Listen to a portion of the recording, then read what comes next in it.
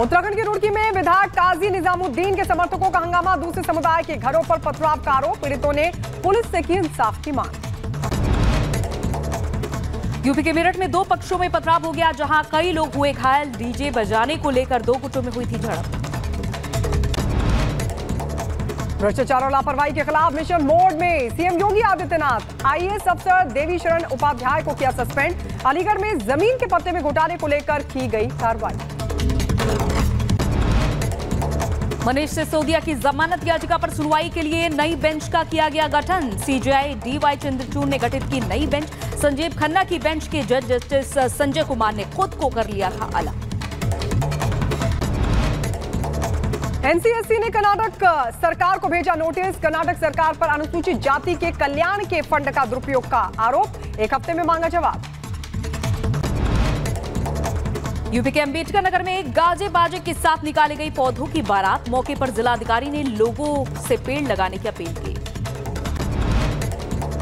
बुलंदशहर में Loharli toll plaza पर वाहनों की कतार में फंसी एंबुलेंस। राहगीरों ने सोशल मीडिया पर पोस्ट किया वीडियो। बुलंदशहर में संदिग्ध परिस्थितियों में महिला की मौत। मामले में मृतका के भाई का दावा कहा दो युवकों ने बियर पार्टी के दौरान हत्या कर दी। गाजियाबाद में नाले में गिरे शख्स का रेस्क्यू। ट्रैफ़िक कर्मियों ने बचाई जान। घायल शख्स को पहुँचा गया अस्पताल। यूपी के नोएडा में कार हादसे का शिकार। घटना में तीन की मौत, नौ बुरी तरह से जख्मी। सभी को अस्पताल में भर्ती कराया गया। चार की हालत गंभीर। महाराष्ट्र के नवी मुंबई में दर्शन बस सड़क हादसे का शिकार हो गई। घटना में पाँच लोगों की मौत की खबर। उनचास लोग बुरी तरीके से जख्मी हुए। ग्रेटर नोएडा में तेज रफ्तार पिकअप बेकाबू होकर जा पलटी। सड़क हादसे में तीन लोगों की मौत, कई लोग घायल। उत्तराखंड के बद्रीनाथ में पहाड़ से मलबा आने की वजह से नेशनल हाईवे हुआ बंद। सड़क के दोनों तरफ़ लगा लंबा जाम। हाईवे से मलबा हटाने का काम लगातार जारी।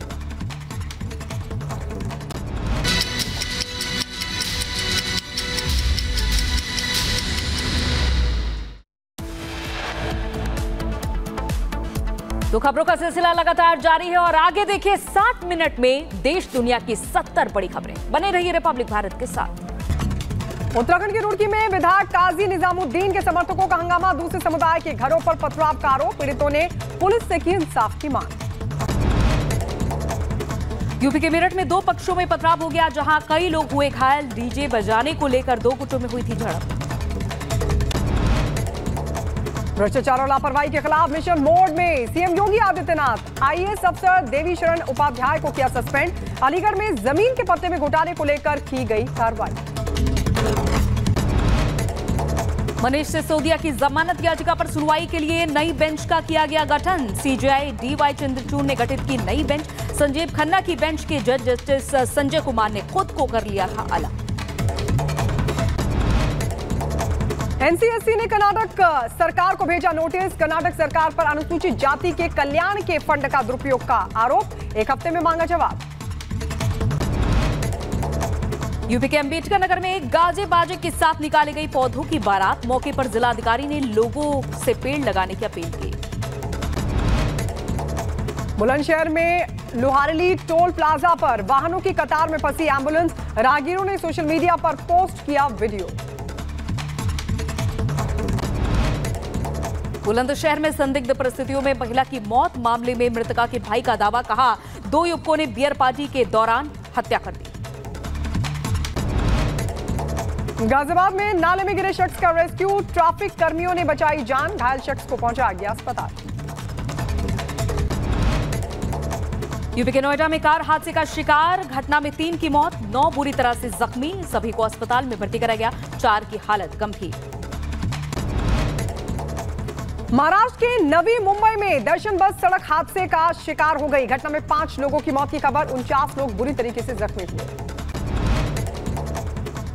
ग्रेटर नोएडा में तेज रफ्तार पिकअप बेकाबू होकर जा पलटी। सड़क हादसे में तीन लोग हुई मौत कई लोग घायल। उत्तराखंड के बद्रीनाथ में पहाड़ से मलबा आने की वजह से नेशनल हाईवे हुआ बंद। सड़क के दोनों तरफ़ लगा लंबा जाम। हाईवे से मलबा हटाने का काम लगातार जारी।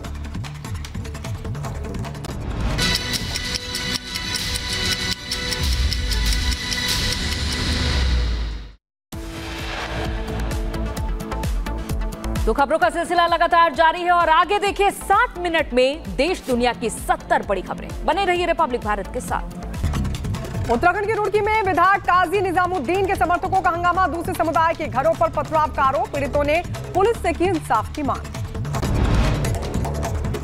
यूपी के मेरठ में दो पक्षों में पथराव हो गया जहाँ कई लोग हुए घायल। डीजे बजाने को लेकर दो गुटों में हुई थी झड़प। भ्रष्टाचार और लापरवाही के खिलाफ मिशन मोड में सीएम योगी आदित्यनाथ, आईएएस अफसर देवी शरण उपाध्याय को किया सस्पेंड। अलीगढ़ में ज़मीन के पत्ते में घोटाले को लेकर की गई कार्रवाई। मनीष सिसोदिया की जमानत याचिका पर सुनवाई के लिए नई बेंच का किया गया गठन। सीजेआई डीवाई चंद्रचूड़ ने गठित की नई बेंच। संजीव खन्ना की बेंच के जज जस्टिस संजय कुमार ने खुद को कर लिया था अलग।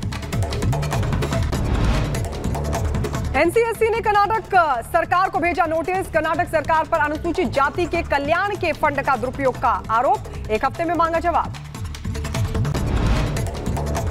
यूपी के अंबेडकर नगर में गाजे बाजे के साथ निकाली गई पौधों की बारात। मौके पर जिलाधिकारी ने लोगों से पेड़ लगाने की अपील की।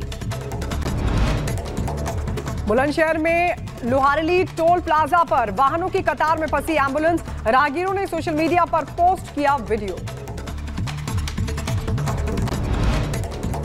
बुलंदशहर में संदिग्ध परिस्थितियों में महिला की मौत मामले में मृतका के भाई का दावा कहा दो युवकों ने बियर पार्टी के दौरान हत्या कर दी। गाजियाबाद में नाले में गिरे शख्स का रेस्क्यू ट्रैफ़िक कर्मियों ने बचाई जान घायल शख्स को पहुँचा गया अस्पताल। यूपी के नोएडा में कार हादसे का शिकार घटना में तीन की मौत नौ बुरी तरह से जख्मी सभी को अस्पताल में भर्ती कराया गया चार की हालत गंभीर। महाराष्ट्र के नवी मुंबई में दर्शन बस सड़क हादसे का शिकार हो गई। घटना में पाँच लोगों की मौत की खबर उनचास लोग बुरी तरीके से जख्मी हुए। ग्रेटर नोएडा में तेज रफ्तार पिकअप बेकाबू होकर जा पलटी। सड़क हादसे में तीन लोग हुई मौत कई लोग घायल। उत्तराखंड के बद्रीनाथ में पहाड़ से मलबा आने की वजह से नेशनल हाईवे हुआ बंद। सड़क के दोनों तरफ़ लगा लंबा जाम। हाईवे से मलबा हटाने का काम लगातार जारी।